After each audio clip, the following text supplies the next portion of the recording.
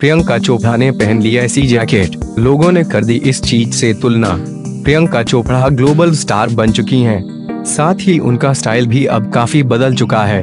हालाँकि स्टाइलिश बनने के चक्कर में कई बार वो ऐसी ड्रेस पहन लेती हैं, जिसे देखते ही लोग उसकी बुराइयाँ करने लगते हैं।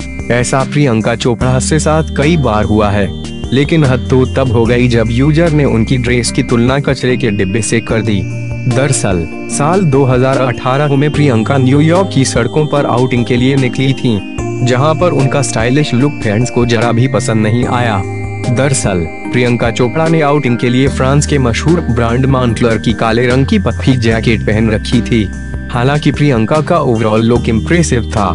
काले रंग की पत्थी जैकेट के साथ ब्लैक डेनिम के साथ येलो हील्स वाले पंप्स और परली इयररिंग्स के साथ मैच किया था। वहीं बात करें मेकअप की तो न्यूड शेड लिप्स के साथ बेस मेकअप को भी न्यूड टोन में रखा गया था।